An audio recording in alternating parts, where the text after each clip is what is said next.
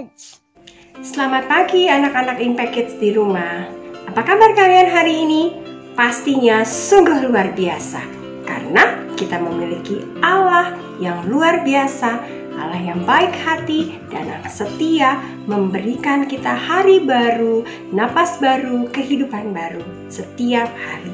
Nah, anak-anak, sebelum kita memulai kegiatan kita hari ini, kita akan merenungkan firman Tuhan yang diambil dari Amsal 19 ayat 2 sampai 8. Siapkan Alkitab kalian ya. Nah, kita akan berdoa sebelum kita memulai renungan kita pagi ini. Mari kita berdoa. Bapa di surga, puji syukur kami angkat kepadamu Tuhan karena kasihmu yang sungguh luar biasa yang memampukan kami untuk dapat bangun pada pagi hari dengan kekuatan baru dan semangat baru. Terima kasih Bapak untuk berkatmu pada kami pagi ini. Sekarang Tuhan kami ingin merenungkan firman-Mu. Mampukanlah kami ya Bapak untuk mengerti firman-Mu. Dalam nama Yesus Kristus kami berdoa. Amin. Nah anak-anakku di rumah, pagi ini kita akan membaca firman Tuhan yang diambil dari Amsal 19 ayat 2 hingga 8 berbunyi, Tanpa pengetahuan, kerajinan pun tidak baik. Orang yang tergesa-gesa akan salah langkah. Kebodohan menyesatkan jalan orang, lalu gusarlah hatinya terhadap Tuhan. Kekayaan menambah banyak sahabat, orang miskin ditinggalkan sahabatnya. Saksi dusta tidak akan luput dari hukuman. Orang yang menyembur-nyemburkan kebohongan tidak akan terhindar. Banyak orang yang mengambil hati orang dermawan. Setiap orang bersahabat dengan si pembeli. Orang miskin dibenci oleh semua saudaranya, apalagi sahabat-sahabatnya. Mereka menjauhi dia ia mengejar mereka, memanggil mereka, tetapi mereka tidak ada lagi.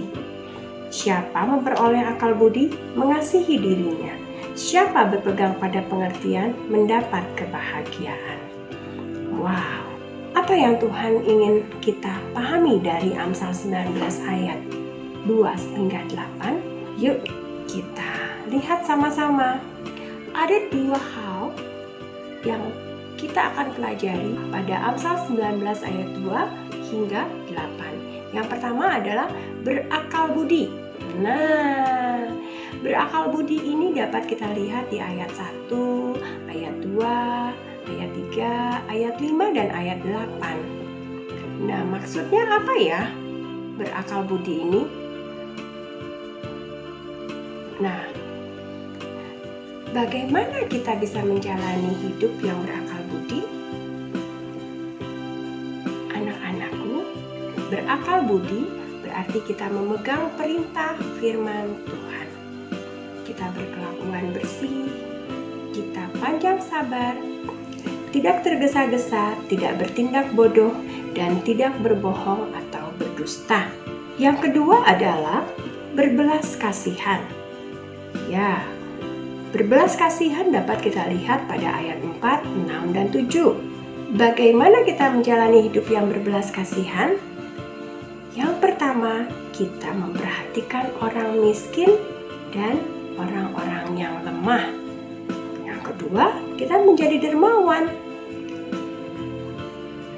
Dua cara hidup ini anak-anakku sangat penting untuk kita pelajari dan kita lakukan dalam keseharian kita sebagai umat Allah.